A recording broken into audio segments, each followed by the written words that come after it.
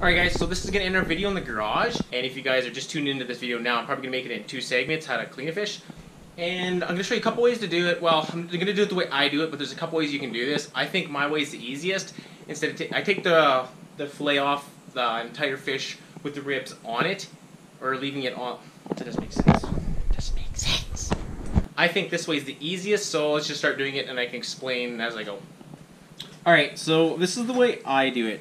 And uh, I should should be able to see it pretty good the way I got the angle and the light on top. So this is what I do when I start. First of all, you've got to put your knife under the fin, like that. And then you do is you cut straight down on a 45, roughly 45. Oh, I should have sharpened this dull POS. Okay, you keep going until you hit the bone. You can feel it right there, so that's about where you bottom out. Then you spin the fish around this way. That's nerves. He definitely has been out of the water a long time. He should be dead. But, oh no. It's the neighbor. He wants to know how they were biting today. Pretty good. So, okay, so now what we're going to do is, I'm going to follow the knife about three inches, uh, about an inch and a half, and we'll follow the top of the ribs, and then when we get through the rib cage, like out on the other side, we go all the way through, and then peel it off. You just follow it, and you can feel it, roughly go in line with the top. You can feel it, feel it, feel it. Definitely a sharper knife is better. And right about there, I think we're basically uh, through it. So you point the knife like that, and then you angle it down, and you follow the spine all the way out. Just like this, follow the spine, and go out perfect. And that's that. So now, this is, I'm, I'm really, I'm backwards with the camera here.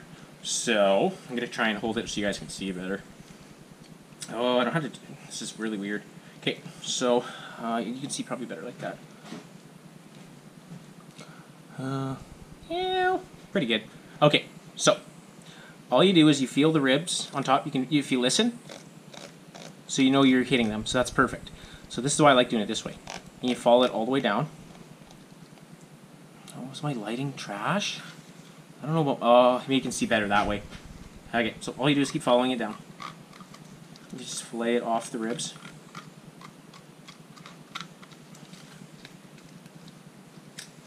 As you can still see, all the way down. Holding like a pencil, this is weird. Just like that, like that.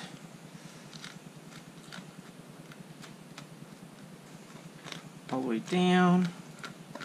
Okay, I gotta switch hands. I can't do it like that, it's really weird. Okay. Through the way, right out the bottom. And you can just, you can feel it the whole way, and it's not hard to catch onto this. Just like that. Oh, all the way through. And you just go like that, cut the bottom off. And that's one done. And you can tell we did pretty good. Like I kind of got, I could have got closer there, but it was kind of awkward. And you follow the spine, see? So that's perfect right there. And the same thing on this side. Go behind the fin. Go in on an angle. You can see it's still good. Oh, it's nice. It's so good. Just like that. Oh my gosh. You can feel it. Hit the bone.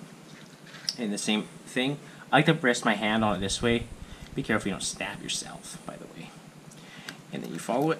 Same thing going back. Oopsies. Just like that. And we're probably through. Go through again. Yeah. Go back, follow it out. Just like that.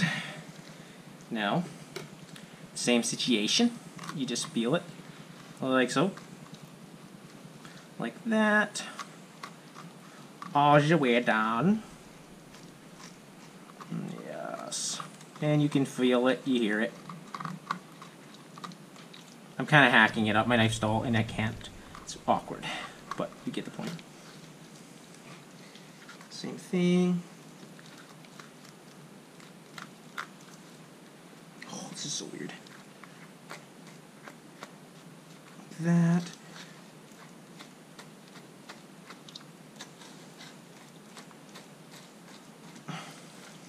That. Cut it off again. Ugh. There's that one. And that's done, and like I still could have got more there, but it's really hard when I'm trying to show you in the camera here. But that's that one done. And this part's easy. I like doing this part. All you do is just start it best you can, close as you can with your knife, and then on an, about a 45, give or take. And then if it's sharp, which this is not, all you do is just like shimmy it left and right, and hold it down on an angle. Like that. Oops. And you can tell you got it all right off. That. And there's one. filet. And I always double check, make sure there's no bones. You can feel it.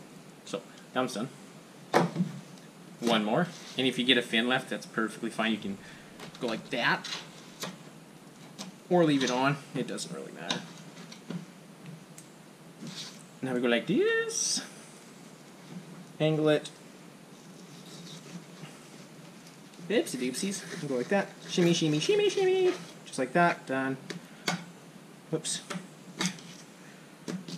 Oh, that's my bad right there. So, that's that again. I missed that. I suck. I know. Don't judge me. Don't judge me. Goes in there.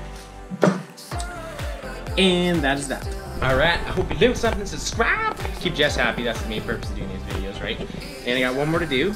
Don't need to watch it twice. And I'll see you guys in the next video. Everything used for gear is always below in the description. And that's about it for this video. So, see you next time.